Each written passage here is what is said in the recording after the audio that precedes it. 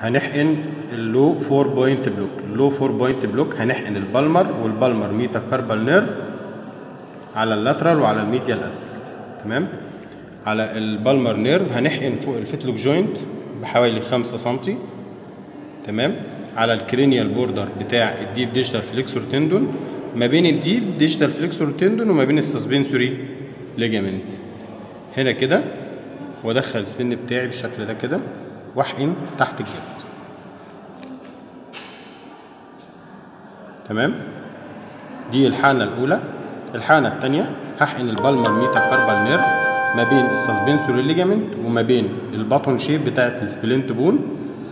كده؟ يا إما ما بين ال button shape وما بين ال third metacarpal bone.